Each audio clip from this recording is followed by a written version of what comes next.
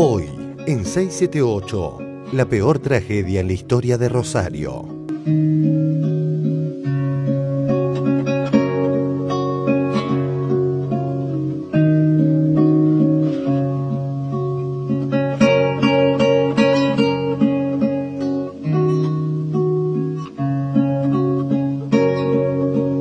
Gente atrapada entre escombros, una persona que estaba viva, que muere en el acto de ayudarlo.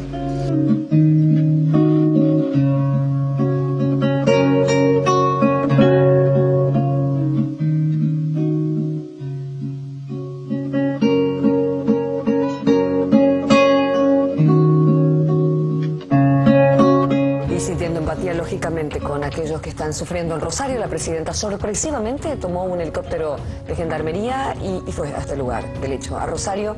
Allí se encontró con el gobernador, la intendenta, distintas autoridades eh, y, y recorrió la zona siniestrada. Pudo mm, visitar el lugar del hecho. La contracara del dolor. El nieto recuperado número 109.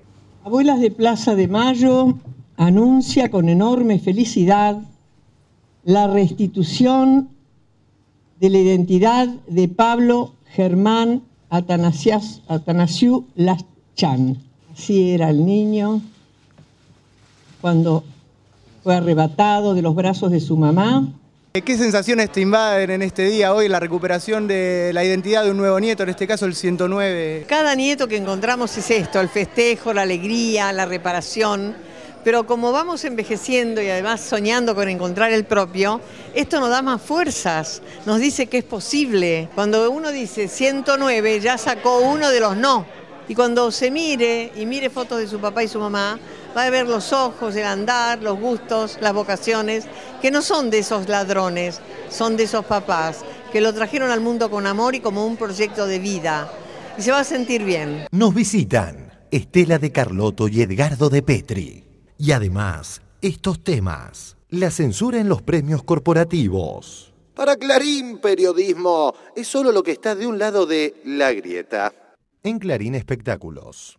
El periodismo se hizo escuchar. Porque es cierto que el- eh, a, a la Nata los- todos los premios se vieron en vivo. Sí, pudo hacer su discurso y, digamos, hablar y bajar la línea que él quiso y no hubo nadie que... Le pudiera dijera- contestar. Exacto. Y a los otros periodistas eh, se los dieron grabados y cortados, además, y editados. Reinaldo Siete Cas es uno de los que más se enojó. Eh, hoy toda una polémica con eso, ¿no? Florencia Ibáñez.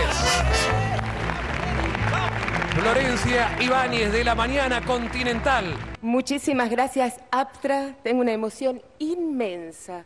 Este reconocimiento, no sé por qué tiene siempre algo tan especial para lo- el, que ama con tanta pasión con lo que uno hace como nos pasa a los que trabajamos en radio. Muchas gracias. Gracias, Aptra. Estoy muy feliz. Buen día, Víctor Hugo, muchísimas gracias. Por supuesto fue editado, pero quiero decirte que con todo amor te lo había dedicado, al final con tanto cariño. Vos dijiste eso y no lo pusieron. No, Bueno, censuraron. Yo suelo decir que el periodismo en televisión, el periodismo político en especial, es una herramienta también, perfecta como un martillo, y que debe servir para hacer pensar, una herramienta para hacer pensar. Muchísimas gracias. De lo que hablé, cortaron 10 segundos de lo que hablé. ¿Cómo no hablé en vivo con la cantidad de boludeces que escuché ayer? No hubo contradiscurso, no hubo manera de responderle. Me parece mal es que no haya posibilidad No sé. de la respuesta. Ah. Pues si no, es- escuchamos un solo mensaje y un solo relato, nada más que eso. ¿Pasó algo con Jorge Lanata? Porque no sé, cuando no, él no sé, ganó no, lo no. paneaba mucho a Pablo, después subiste no, vos ideológicamente no coincidimos con Jorge. Lanata en lo más mínimo, ni con la gente de- del noticiero de Canal 13. No me gustó, la verdad, que se premie de esa manera. Vaya nuestro agradecimiento y homenaje a Cristina Fernández, Amado Budú, Julio Devido, Eve de Bonafini. Bueno, agradezco también a todas las personas que Jorge le acaba de agradecer. Eh, yo también les agradezco a ellos, a Cristina. Eh, un gracias para todos y para todas. Gracias. Paola Barrientos, ¿qué quisiste decir? A muchos nos quedó un sabor medio así amargo de decir, pucha, me hubiera gustado festejar distinto y no con esta sensación de estar siendo un poco rehén de una operación, realmente un clima muy enrarecido que bueno, nos dejó a todos como rehén de esa situación, de pronto expuestos a escuchar cosas con las cuales no acordamos sin posibilidad de réplica y, la situación de estar ahí siendo parte de eso se ubica en un lugar de apoyo a eso. Hay como una división irreconciliable en Argentina y esa división yo la llamo la grieta. Ha separado amigos, hermanos, parejas, compañeros de laburo. Ayer me llamó la atención después que, que- que el gordo vigilante este, la nata, diga, hable de la grieta y todo eso, que no haya salido nadie. ¿Pasó algo ahí a- a- en la platea? ¿Daban ganas de pegar un grito o de, de- de tener otra voz? La verdad que fue muy raro, fue una sorpresa, yo creo que estaba planeado.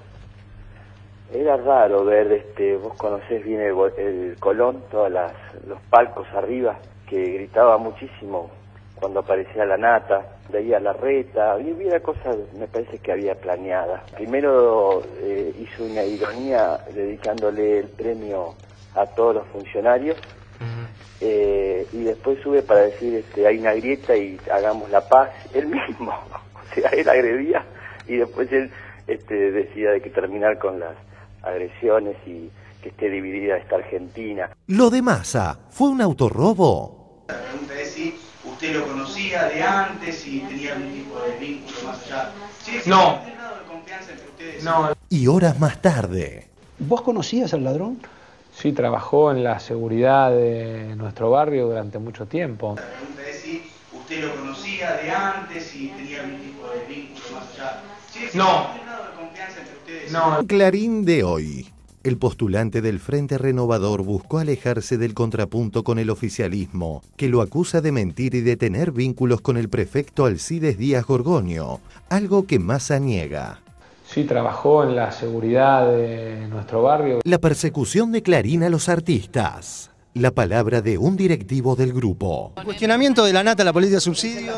Tus películas reciben subsidios, la de la nata recibieron incluso subsidios. ¿Cómo es ese cuestionamiento de la política cultural de subsidios del gobierno nacional? Me estás preguntando, perdóname, no te entendí. Sí, te pregunto a vos en relación a lo que dijo la nata, que cuestionó duramente las políticas de subsidio a la cultura. ¿El Jorge dijo eso? Sí, en su programa, en Canal 13. Por favor. Bueno, preguntale a Jorge. ¿No estabas al tanto de eso? Perdón, tengo que ir a buscar a mi hijo. Sí, claro que sí. ¿Cómo. ¿Estás de acuerdo?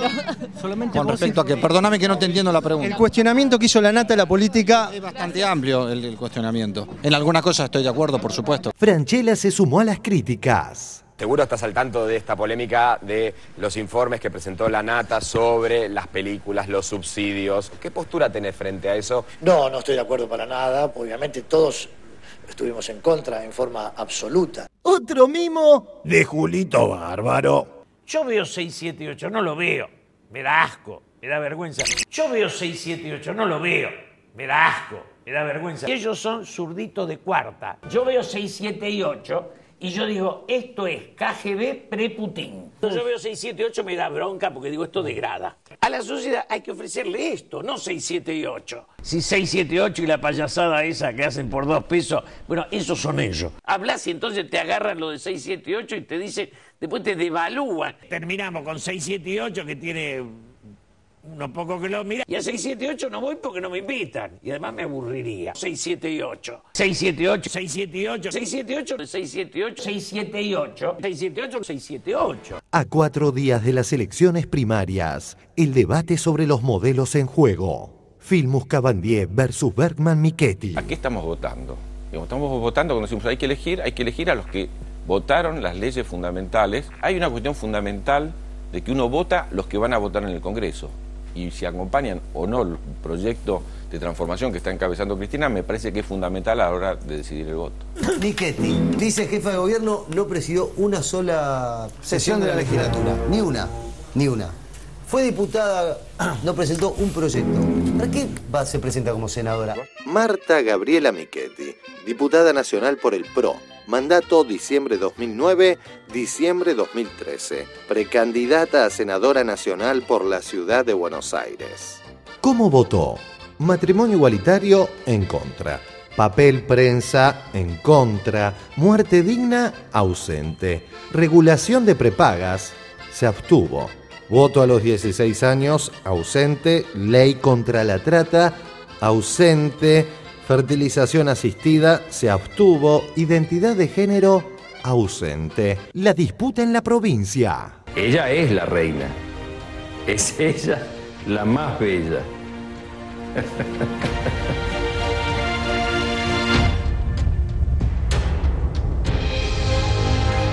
Creo que este es el fin de la carrera política de Néstor Kirchner. Tiene que asumirlo. Se ha terminado una forma de hacer gobierno.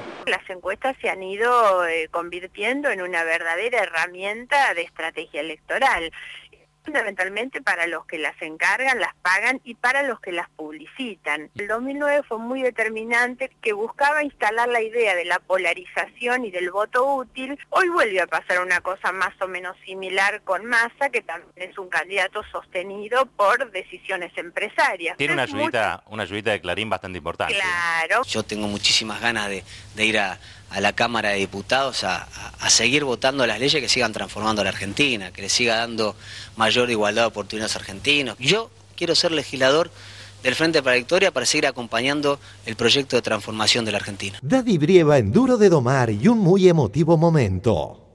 A ver, empezaste a militar en el peronismo a los 16 años, me imagino que habrá 16 sido. años, En la década de- de- de- del 70, más En o el menos. 70. En un momento además muy, 72, muy. 73. A ver, llegaste a estar en movilizaciones importantes, el regreso de Perón, el momento que. No, regreso de Perón me agarró de perejil allá. ta- Esto es una imagen de. este, Uy, boludo. A ver, a ver, vamos a ver, No, a me gustaría. No Pasemos de vuelta tengo. las imágenes, porque ahí, vamos a ir. Llevando el cajón de- Estas las imágenes llevando. ¿Estás vos ahí? Ahí se ve la imagen, ¿no? Llevando, está de la CGT a San Vicente, ¿fue, ¿no? cuando Me gusta el silencio este, a ver, el silencio de Daddy Porque no lo tengo a esto. Después te lo pasamos. No, me, me ofrecieron de estar al lado de la cureña y fue un momento muy fuerte. Eh, porque no, yo pues, cuando yo estaba haciendo Susana con- con Ma- en Miami, mi papá murió y no pude llegar a, a enterrarlo. Y cuando lo, tuve el cajón ahí, ya se da cuenta que enterré a mi papá y todos mis, mis tíos peronistas y todo eso, y se hubiesen sentido muy orgullosos de verme ahí. Fue un momento muy fuerte.